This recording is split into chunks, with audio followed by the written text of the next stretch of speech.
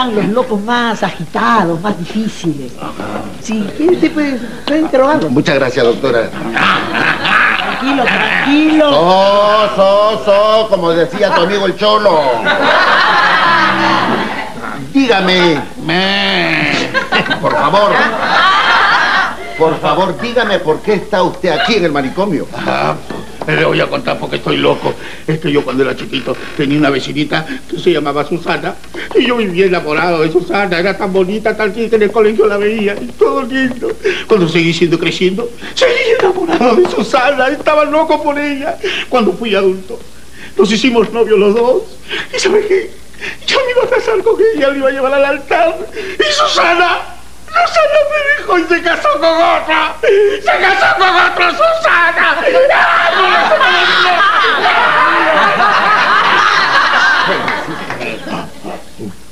Y dígame, ¿por qué está usted aquí en el manicomio? Porque yo soy el que se casó con Susana. Susana, Susana. Qué mal está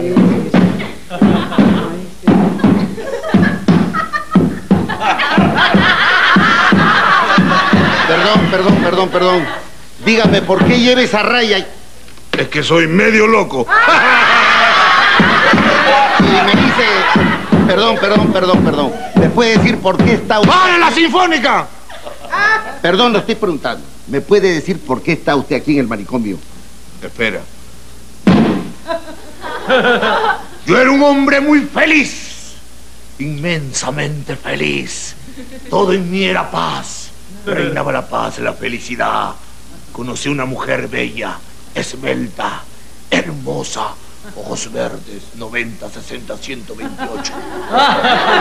Fui más feliz al conocer a esa mujer. Luego nos casamos. Fui inmensamente feliz. Tuvimos dos criaturas, hombre y mujer, la parejita. ¿Qué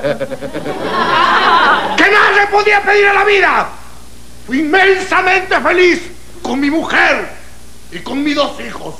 Felices, felices, vivíamos felices.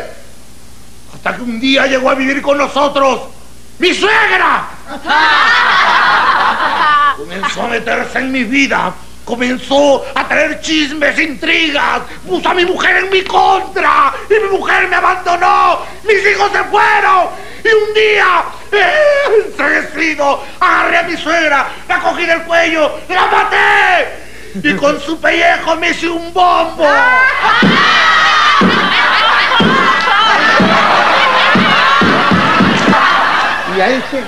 Lo veo muy tranquilo, muy reposado. Interróguelo usted. Eh, buenas tardes. Buenas tardes, señor. Qué gusto. ¿Cómo está? Dígame, usted lo veo tranquilo, reposado. Bueno, en realidad toda mi vida he sido así, señor.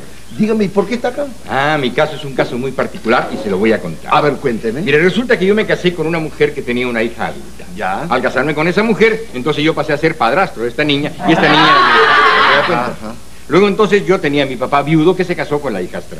Se casó con la niña esta. Entonces, de esta manera, mi mujer pasaba a ser suegra de su propio suegro. ¿Se da cuenta? Entonces, mi hijastra también pasaba a ser mi madrastra. Bueno, porque era la esposa de mi papá, ¿se da cuenta? Ya. Luego, ellos tuvieron una- una- un, un hijo. Ya. Entonces, ese hijo, por ser hijo de mi papá, era mi medio hermano, ¿se da cuenta? Pero como era nieto de mi mujer, también era nieto mío. Entonces, yo pasé a ser abuelo de mi medio hermano. Después, después pasó el tiempo y mi mujer también tuvo un hijo. Entonces, de esa manera, la suegra de mi media hermana, que es una hija de su conviviente, se ha convertido en su abuela. Entonces yo soy un hermano de mi propio hijo, el cual es igualmente hermano de su propia abuela. Y no sé por qué tengo la impresión de que soy cuñado de mi mamá.